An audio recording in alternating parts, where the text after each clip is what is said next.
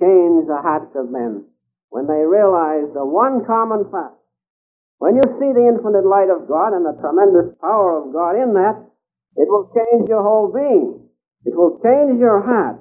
Your heart will be of pure gold, knowing that. Then you can love one another really, because you know the source from whence they come. Then the brotherhood of man, and only then can come the fatherhood of God when He changed the hearts of men. You can try to do it by politics. You can try to do it by the force of political power in the name of religion. It has all been tried for ages to bring about this saving of world consciousness. But has not, will not work because it'll only come when you change the hearts of men. Only then. You cannot force people to do anything. But when the love of God percolates through their being and His infinite light guides them, and the love of God in that light is felt in their hearts, then the hearts of men are changed, then the world will be saved. Because worldly consciousness will be superseded by that great infinite love. Years ago, the Master went to Washington. And he talked to President Coolidge, who was, as you know, a man of few words.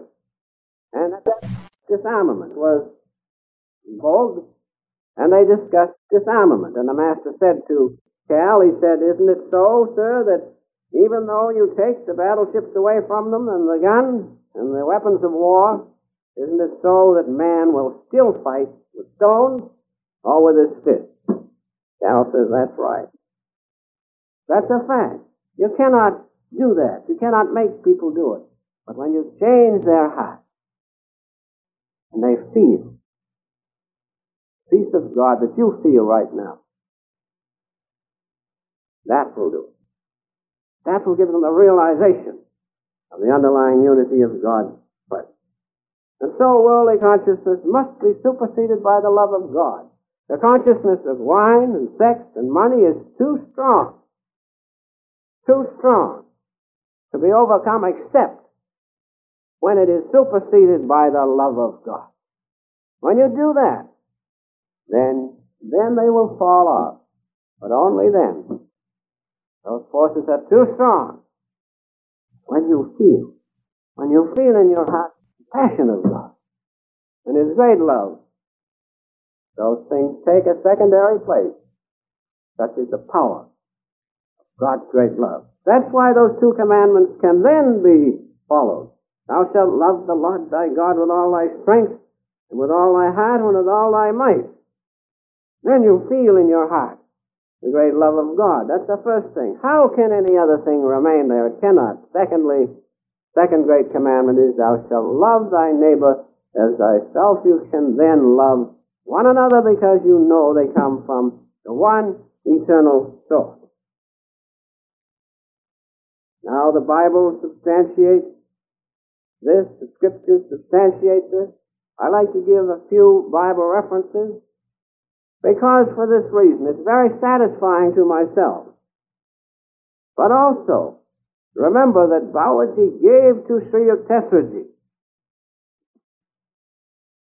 the great task of showing by parallel references of the Gita, of the Bible, of all scriptures, by showing by parallel references the underlying unity.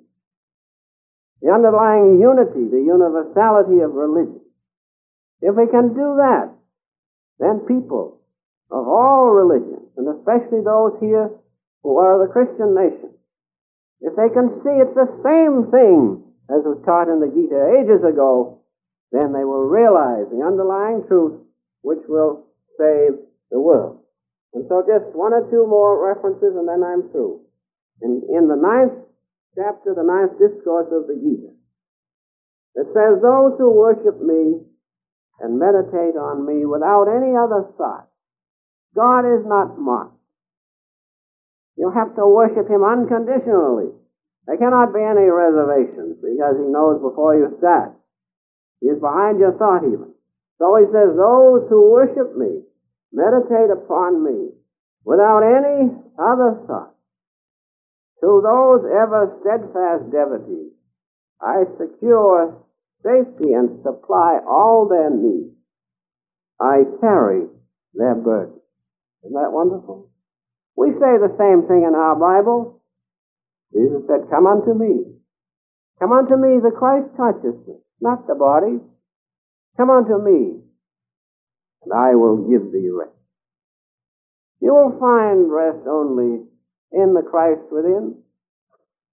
If you want to do your part to save the world, find that first. Find that. Then you can help and give to others. Come unto me, and I will give thee rest. And the Gita also says, I notice in my reference, I shall free thee from all sin. Imagine all sins of ages, of incarnations cannot stay in the light of God. Meditate, you will find it out. Now, isn't that worth striving for? Look at the things we've laid up, the impulses we bring with us, laden impulses which keep bothering us, bringing up into worldly consciousness these things we don't want. Those will be taken away. For it says, I shall free thee from all sin. Grieve not. God is most wonderful. We don't appreciate what we've got. That's all. And so, in conclusion, the world will be saved, as I have said, by turning from the changeable, transient, worldly consciousness of this drama of life of God to the unchanging eternal consciousness, the Christ consciousness within. We all can do it. We all have that natural love of God in our hearts. The thing is, we have to water it a little bit. We have to cultivate it. We have to give a little effort. Then we can do our